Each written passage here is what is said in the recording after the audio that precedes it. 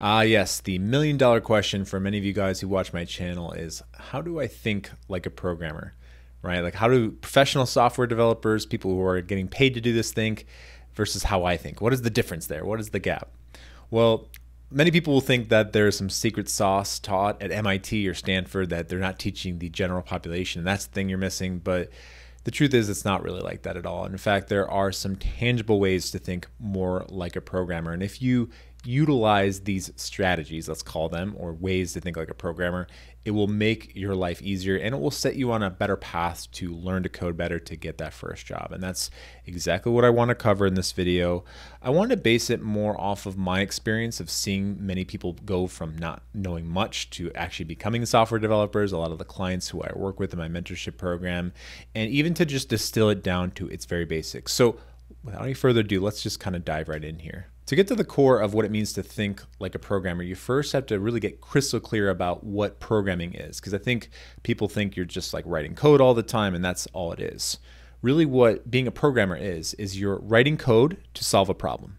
That's the that's the simple as you can really get, right? So the problem could be very small or it could be very big, right? So for example, if you want to take something that everybody pretty much knows, like Facebook, for example, was at one point it didn't exist, right? Mark Zuckerberg was sitting in a dorm room and he thought, wow, if I get people to connect, that'd be really cool. And I think that's a problem. So he solved that problem by creating a large software application, a very complex one. Or maybe it was something simpler than that, but still complex. Let's say Google back in the day, they saw that all the email clients out there weren't very good. So they're like, let's go ahead and create our own email client. And they created Gmail, something that didn't exist. They thought could be really good, could solve a lot of people's problems and a bunch of software developers coded that up. So when you hear that you have to be a good problem solver, that's where this idea comes from. That's where this buzzword comes from because ultimately as a software developer, you're solving some sort of problem. You're creating a solution using code. So with that all being said here, I really want to introduce this idea of thinking more methodically, right? So if you're going to solve problems, you have to think more methodically, which just basically means you have more structure to how you think. You're more orderly in your thoughts. And I think the best way to demonstrate this for if this doesn't really make sense is to think about a scientist and adopt what I would call a scientist mindset when it comes to programming. So scientists, like you know, go back to your high school days when you were learning about chemistry, when you were in the lab and you were mixing elements and you were recording everything.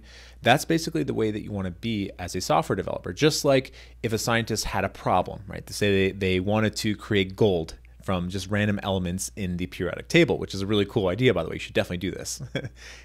Hint, it's not possible. So, say you wanted to do that. You'd set up an experiment where you mix certain amounts of two elements and you try to make gold. Now, if that didn't work, you'd examine and try to figure out why didn't that work? When I mix nitrogen and oxygen together, obviously that didn't work. Why didn't that work? Maybe you'd come up with another hypothesis. Maybe you change the amounts, the, the chemical amounts, and try to mix it again and see what happened. And you keep doing that over and over and over again. And the scientific method is a good analog to software development and thinking more methodically, right? So a lot of people when they get into this, they struggle with learning to code because they learn the syntax, but when it comes to the actual problem solving part of it, they don't have an ordered and structured way of thinking about things. So that's the first thing I really want to plant in your head as far as thinking more like a programmer. Now, before we go on to my next point here, I just want to briefly stop and say if you've enjoyed this video thus far, please go ahead and go down and smash that like button below. Also, if you haven't subscribed to my channel, I cover all things self-taught programmer related. So definitely go down there and smash the subscribe button. Also make sure to hit the bell icon so you get notifications anytime I put out a new video. Okay, so if you understand that thinking like a programmer means being a good problem solver and thinking methodically, well, from there, then the next thing that I noticed that really separates a lot of what I call amateurs, like people who are just struggling to learn to code, they're watching tutorials, not really getting it, to those who are starting to get traction and is really starting to understand how to think more like a programmer. It's really about breaking down problems, like big problems, into smaller problems, right? So you bring break down something big into its smaller little requisite parts. And this is called decomposition.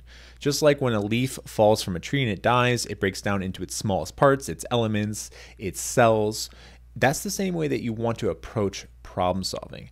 I've worked with so many people when I assign them a really hard project to do or a really hard problem to solve, the most people just get overwhelmed by it, right? They see that there's a really hard problem, it's a really big project, they get overwhelmed, and they're like, I don't even know what to do. Well, what they're the problem with them is they're seeing the problem as a whole. They're seeing the project as in its whole in its entirety, and they're unable to break that down into its smallest parts.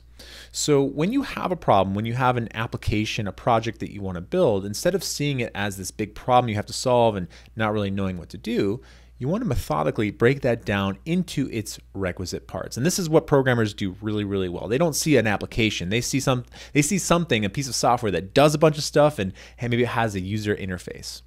So if you're going to build a, let's say, an expense tracker, right? You want to keep track of your expenses on a day-to-day basis. It's going to be really simple. You have to think to yourself, not only from a user interface perspective, okay? So if you're going to build the UI, the look and feel of it, you have to think, like, what are all the components going to be on the screen? Right? So maybe you're going to have some inputs where you can input some information. You have to figure out in your head, okay, where are they going to go?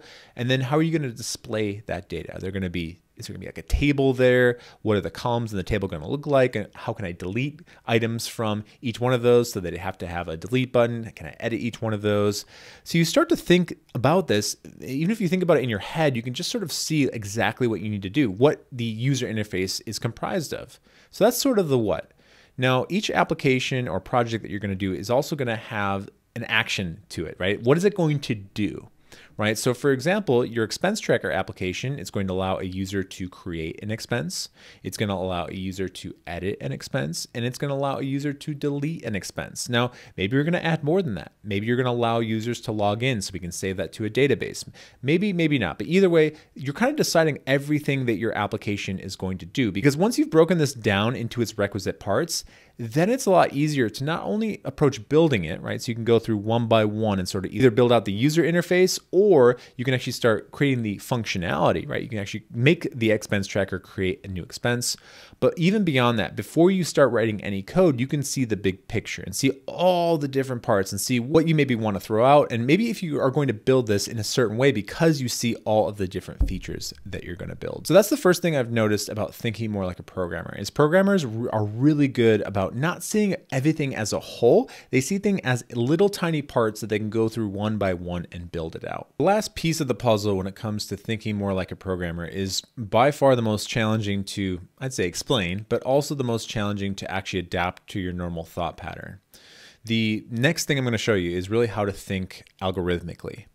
So thinking algorithmically is a fancy way of saying thinking more like a recipe, right? When you create a certain meal, you follow a recipe. That's basically what you do as a programmer. You create a recipe to provide a specific result. Because if I'm going to create chilaquiles, one of my favorite dishes, by the way, definitely recommend it. You know, I know the certain amount of ingredients I have to have, tortilla chips, onions, simmering sauce, to name a few and I have to cook that in a very specific way. If I don't cook that the exact way, if I turn the temperature on a little too long, or I cook it a little too long and the temperature's off, or I mix the ingredients at the wrong steps, the wrong intervals, the result I'm going to get is dramatically different from what I want. And so this is really, really important for you guys who are new. And this is really important as well for why you want to start on simpler projects, projects that are easier to do than jumping into some of the harder projects.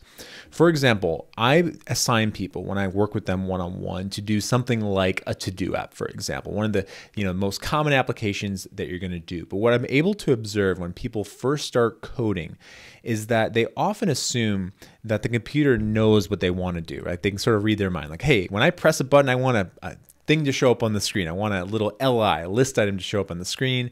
And that's one of the problems that you're going to have. Instead of thinking that in order to show something on the screen, I have to access the DOM, I have to create an LI element, I have to add some text into that LI element, you sort of just assume that the computer knows what you want to do. And this is the the biggest leap. And by the way, all this stuff I'm explaining to you can't really be learned through a lecture. I can't just go through a lecture and say, okay, here's how to think more algorithmically. One of the things you have to do is just go and try to do it. You have to learn the programming language, the syntax better, and it becomes more clear over time how you have to think more in terms of steps, like step by step process, as opposed to just like I write some code and it does what I want. Because if you've ever heard this term before, I think I've said it on my channel a few times, the computer is really dumb.